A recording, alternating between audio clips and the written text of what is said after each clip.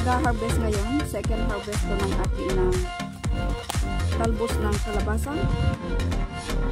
Kita nyo guys ang itsura ng farmer.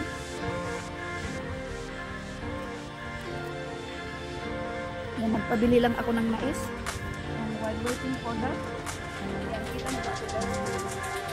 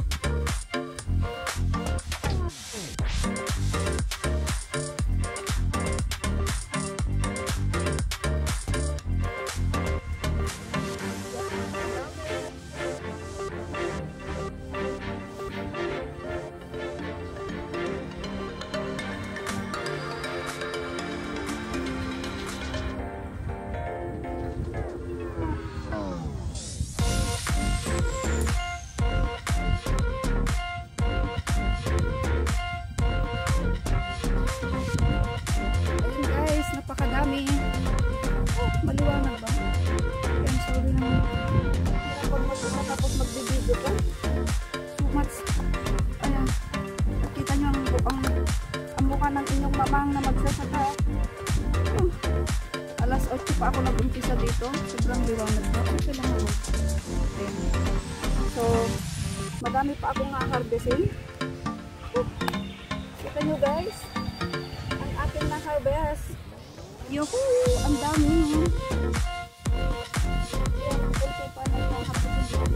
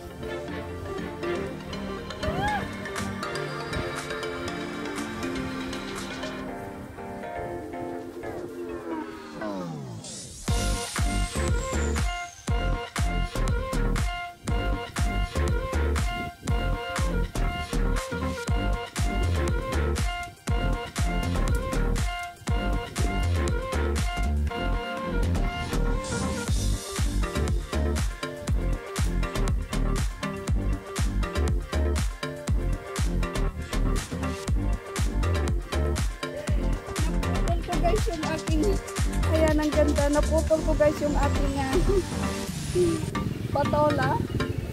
My god. So ito naman first time ko guys ipapakita yung pag-harvest ng aking ah, ayan it's first time makikita nyo guys na mag-harvest ako ng aking ah,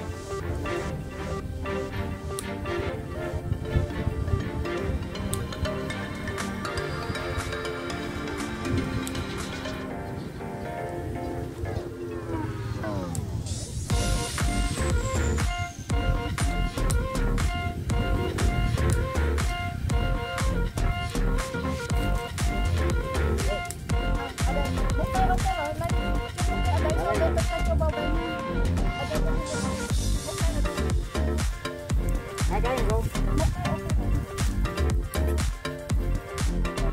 đó rồi.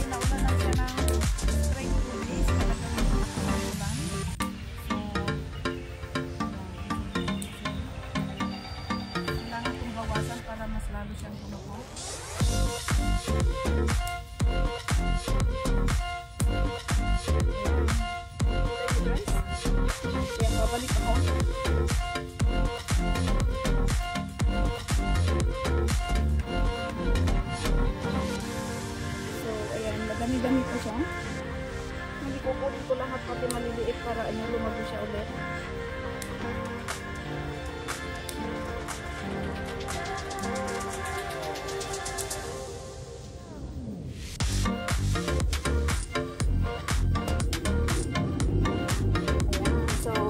Thank you so much. Babus. Guys, so this is it. Kung maalala nyo nung nakaraang unang-una ko ako nag-video na yung surroundings nito, talagang sobrang talahib, sobrang dumi. Eto nun kung maalala nyo gatao ang talahib niya. It's still not perfect pero look at this one guys. How really great and honor to be part of the changes even the tiny or uh, small place you live in. Yan, inumpisahan ko to guys. Ayan, nagkanda sakit-sakit ang kamay ko over the makukulit din yung mga staff namin. Actually, worker na talagang nagtatapon sila ng pinagkainan nila. Dati guys, walang makatambay dyan sa motoran na yan. Dahil sobrang taas ng talahib and nakakatakot.